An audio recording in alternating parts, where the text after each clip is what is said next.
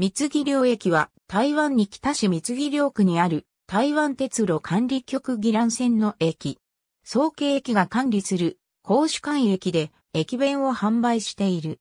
簡易駅ではあるが、自強号、虚構号、区間会車が一部停車。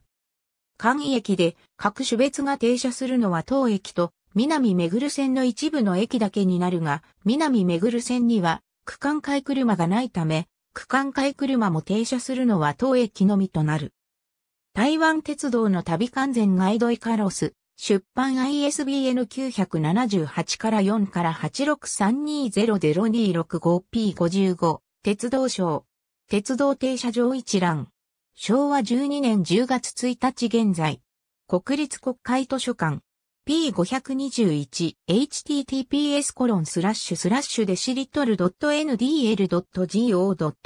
スラッシュインフォ。ndljp ピド120万7554大湾総正し府国時代131項。不法第3383項。大正13年11月20日。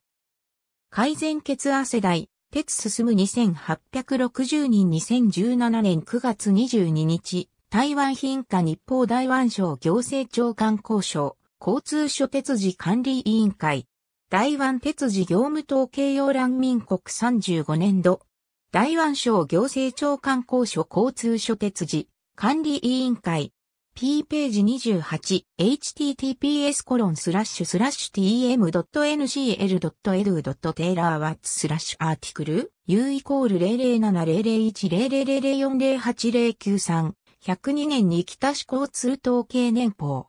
に北市政府交通局。2019年6月30日閲覧。103年報各単客貨運機質量。2015年9月24日時点のオリジナルよりアーカイブ。2019年6月4日閲覧。台湾鉄事管理局、104連邦各単、客貨運機質量。2016年7月5日時点のオリジナルより、アーカイブ。2019年6月4日閲覧。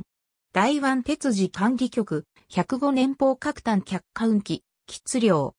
2017年8月19日時点のオリジナルより、アーカイブ。2019年6月4日閲覧。台湾鉄事管理局、106年法各単、客貨運機質量ボリュームオブパッセンジャーフレイトトラフィック。台湾鉄事管理局、2019年5月5日閲覧。107年法各単客貨運機、質量ボリュームオブパッセンジャーフレイトトラフィック。台湾鉄事管理局。2019年5月25日閲覧。108年法各単客貨運機、質量ボリュームオブパッセンジャーフレイトトラフィック。台湾鉄事管理局。2020年5月13日閲覧。ありがとうございます。